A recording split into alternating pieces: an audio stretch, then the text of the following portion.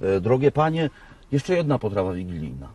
E, No tak, teraz mamy fasolkę ze śliwkami po prostu. Ja tu może podejdę, żeby mi było Pewnie. lepiej, żeby mi Pewnie. było lepiej to poda, pokazać. Aha. E, tu jest e, namoczona wcześniej fasolka. To jest taki drobny jasiek, można tak, tak, powiedzieć? to jest jasiek, no, ale on, mniejszy. ale on po tym jest duży, on tak napęcznieje Aha. i jest duży po prostu. To wlewamy. Myśli pani, że jak mnie by namoczyć, to też bym napęczniał? No, Na razie jestem mały, ale po namoczeniu zawsze pęcznieje. No, Musielibyśmy spróbować. Czyli co, to E, wrzucamy Tak, z wodą, w której się moczyło. tak i to się Przez musi noc gotować. najlepiej, tak? I teraz ona dosyć długo, no aż będzie miękka. Jasne. A śliwki y, dajemy do gorącej już gotującej się wody, bo to nie musi już tak długo być. Ale zaraz, ja najpierw muszę te śliwki powąchać. Mm, one są genialne, takie suszone w piecach, mają wędzony posmak. Tak, ale Kapitalne. bezpestkowe. Bo Bezpestkowe, potem się je z tym z fasolą. bezpestkowe, bo potem się je z fasolą. Ja śliwki tak najbardziej lubię w dwóch postaciach.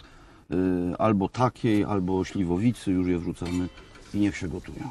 Tak, I co? Jedno miękkie, drugie miękkie i za chwilę będziemy to razem tak, łączyć, to, tak? t- tak, wtedy łączymy.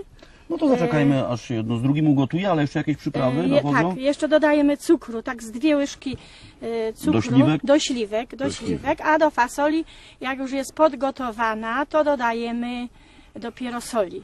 Fantastycznie. Na razie tylko cukrzymy, solić będziemy potem i musimy Tak. zaczekać, aż się wszystko ugotuje. Dość daleka droga No przede właśnie. mną. Proszę spojrzeć, Nie powinno być podług wzrostu. Ja jakie mieć piękne naczynie. nie, jest wszystko idealnie.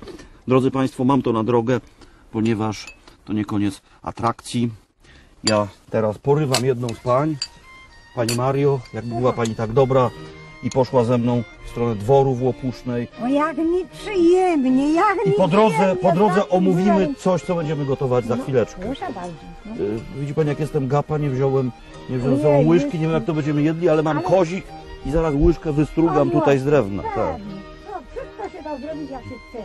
Proszę bardzo, bardzo proszę, bardzo proszę. Drogie Panie, wydaje mi się, że takie knedle y, nie tylko z okazji Wigilii, ale w ogóle można powiedzieć, żeby sobie ludzie robili na deser takie knedle z makiem. Proszę zresztą spojrzeć, jakie są w przekroju fenomenalne. Mogę przyrzec tutaj właściwym służbom, że użyty został do produkcji mak Przemko, bardzo niska zawartość opiatów. W związku z tym są to całkowicie nieszkodliwe knedle. Nie ma wizji po takich knedlach chyba, nie? Po Nie, maku. nie, nie. nie ma, nie ma.